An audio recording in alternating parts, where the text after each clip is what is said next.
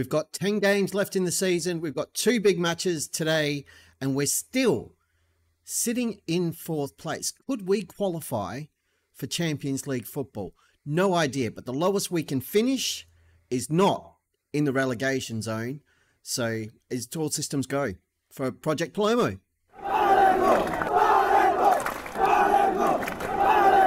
Welcome to Project Palermo. I am your old mate DP, and we have two huge games for you today in terms of our finishing position, which could be very, very exciting. We are at home against Cagliari, and then we should be away against Roma, and there it is.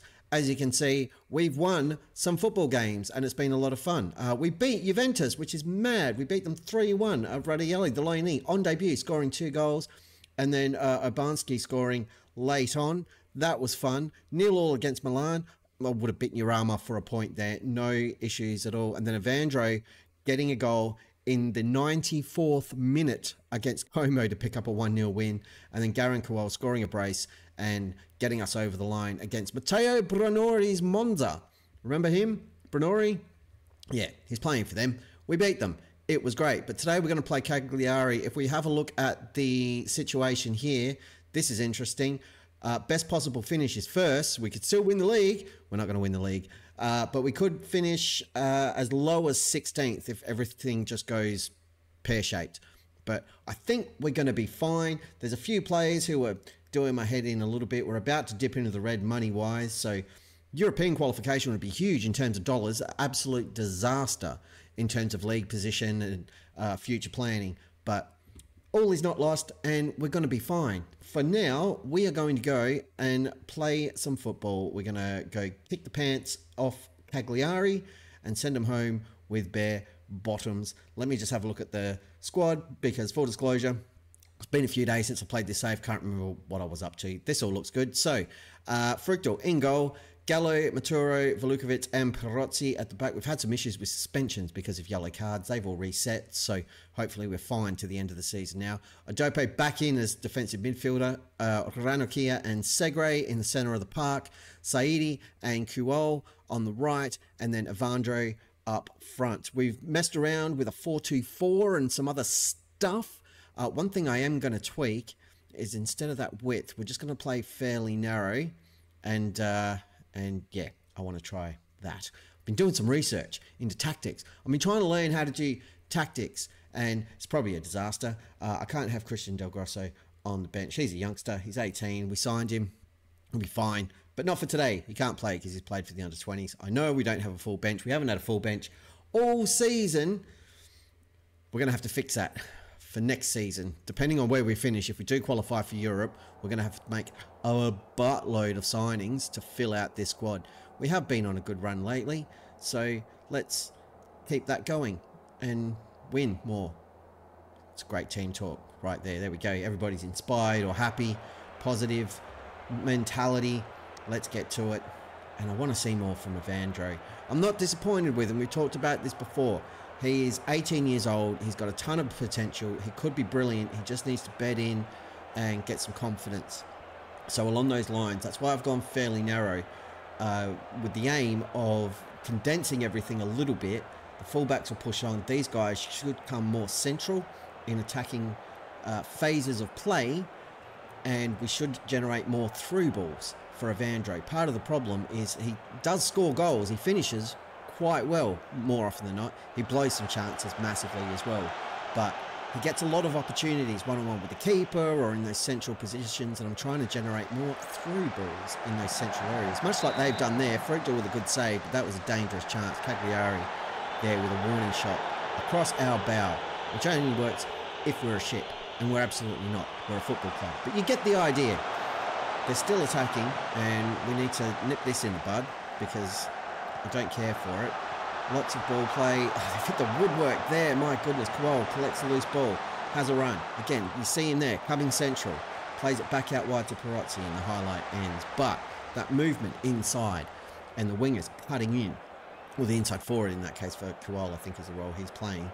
That's what we want to see. Get everything central. Focus playing that area. Have fullbacks underlapping, trying to get wide. The wingers staying wider and opening up some space, hopefully drawing those defenders out for Evandro to run into. There's Perazzi. Kuol inside shoots, and it's just hit the post and out.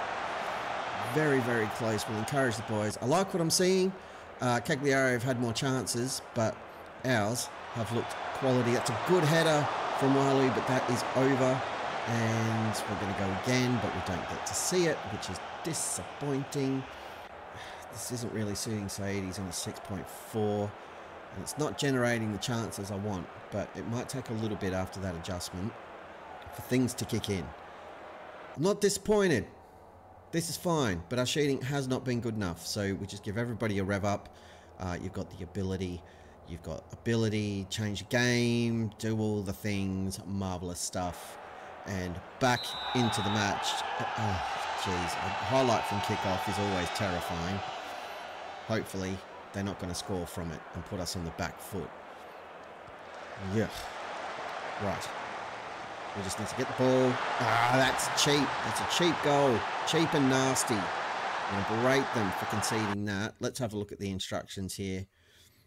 Passing directness shorter. Let's keep that. We'll keep the tempo as standard. We'll work the ball into the box. And we'll go a bit narrower in transition. We do want to re regroup. I'll let them decide what they're going to do when possession's being won. Distribute to the fullbacks is fine out of possession. I'm okay with the low block. We'll do all that. Yeah, I like it. It's going to work. It's going to be fine. I just don't want to lose to Cagliari. These guys came up with us, and we should be able to ruin them, but again, we've been on the back foot for most... Yes, confirm the changes. Why haven't you? That's annoying. It's been a while since I've screwed the pooch front people used to do my head in on FM23. If you remember the old Wizard of Aus days over on Twitch, I used to do that all the time, and it would break my brain. Uh, speaking of Twitch, we've got Deadpool FC happening over on Twitch, which we've talked about before uh, here during Project Palermo. But that's a lovely goal from Saidi. We'll get back to Deadpool FC in a minute. Things are happening right here in Sicily. Saidi with a lovely strike and pulling us level with Cagliari. This is much better. So Segre pulling out wide. Crosses into Perazzi, not really cross, more of a pass from Kia, plays it through to Saidi, first time, and that's gorgeous. And we had numbers central, which is what we want. They had more, but all right, all right, things might be coming together. Let's encourage the boys. We've got it back to one all. We're going to look to make a couple of changes shortly. I think Kuol's going to come off, and Segre, because Segre's been awful. So uh, Urbanski can come on for him. And then to replace Kuol, I think we'll throw on uh, Chona, who is focused, and we like a bit of focus. Confirm those changes. That will be fine. And kick off. So Deadpool FC, custom club we created for Football Manager 2024. We started down in Tier 10 in the deepest, darkest non-league. We've got ourselves up to the Vanarama National League North. And it looks like we might be going up, unless we already went up. I can't remember. Again, it's been a few days. We're going to go attacking here and we're going to make a couple more changes. It's five minutes ago. We need to change the game. We've got some tired bodies. So Mercantile can come on there. Maturo can go out to left back. Uh, let me just have a look here. We've got Radaeli, who can't play midfield, so that doesn't help us. Vasic can, so he'll replace Ranakia. And Vandro is tired. Uh, I kind of want to keep him on, but we'll throw Radielli on, get some fresh legs up front, confirm those changes, get back into it. We've gone attacking need to make something happen, score a goal, and then shut up shop. Because uh, we want to win. Winning's great. Urbanski now plays it out. Great through ball for Tunas. Evandro's in the centre. Tunas shot instead.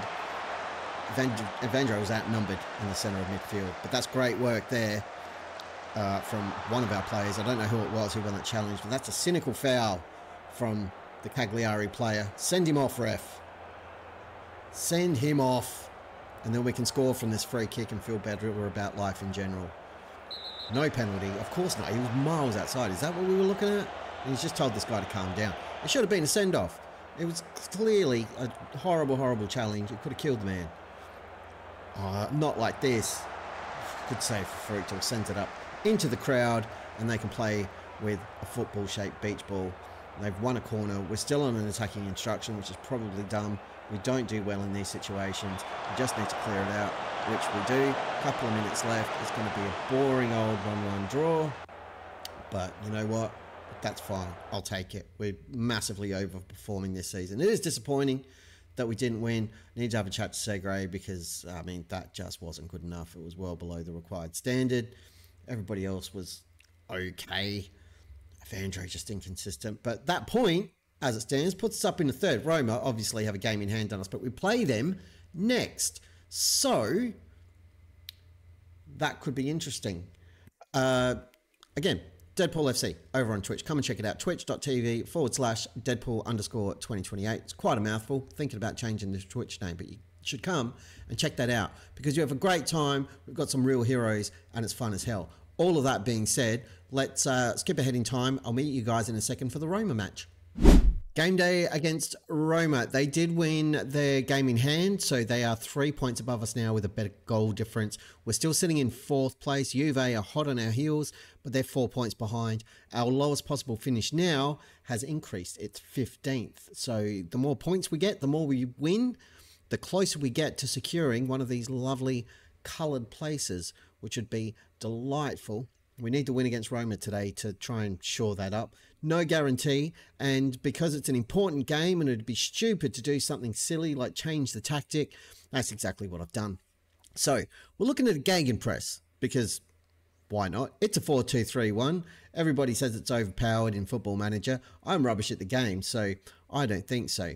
The idea here is uh, Roma are quite good at attacking. They're a good side. So we've got our usual goalkeeper in Fructal, our usual back line of Gallo, Maturo, Velukovic, and Pirozzi. But we've got two ball playing defenders in here. We've got Gallo as an inverted fullback and Pirozzi as an inverted fullback as well to help shore up the defence and cut off some of that attack. They're also under instructions to try and overlap when we can.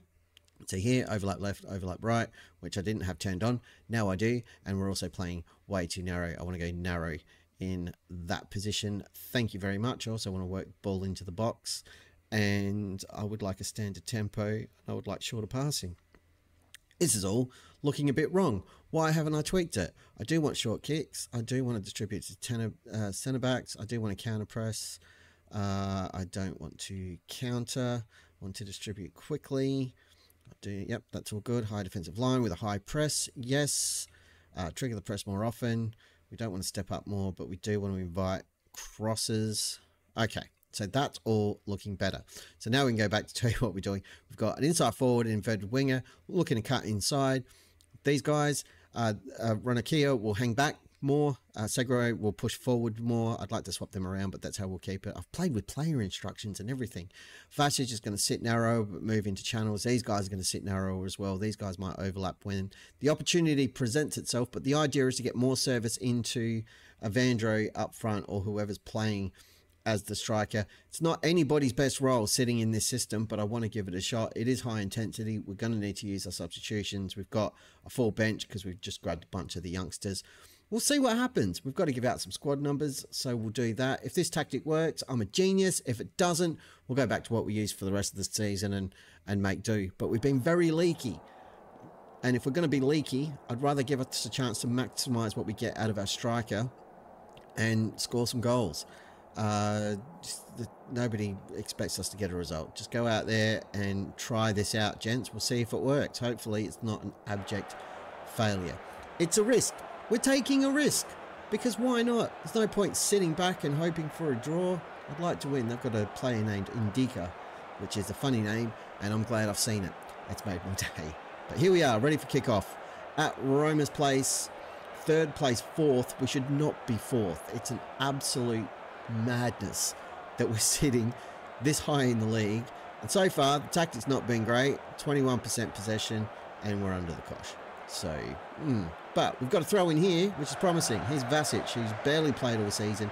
He's not at all match sharp, but he's really the only attacking midfielder I've got at the club now. Look at that through ball. That's a ball through the centre, and that's exactly what I want out of this tactic. Kuol looking for a pass. Can't find one, just runs it in himself and sprays his shot wide. Too much curve on it.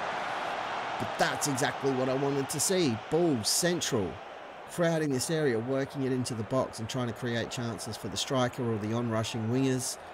Mmm, very promising and very tasty. We've upped our percentage of possession it's uh, it's slow going, but another attacking highlight for us. Ranakir plays it in, finds Wally. Here's Evandro, takes the ball out wide, plays it inside. Vasic is there with the low cross and an assist for Evandro. And that, oh, I think it's working. I think it's working. I've done a tactic. Oh my goodness. Great ball in. While he heads it down, Evandro just runs it wide, shows some of his skill, spots Vasic in the centre. Oh, lovely stuff. A goal for Vasic, his first in the Dogs age, because he barely played all season. When he has, he's played in midfield. He scored a few with his cameos off the bench, but yeah, the way this tactic is working at the moment, we'll probably can see here now.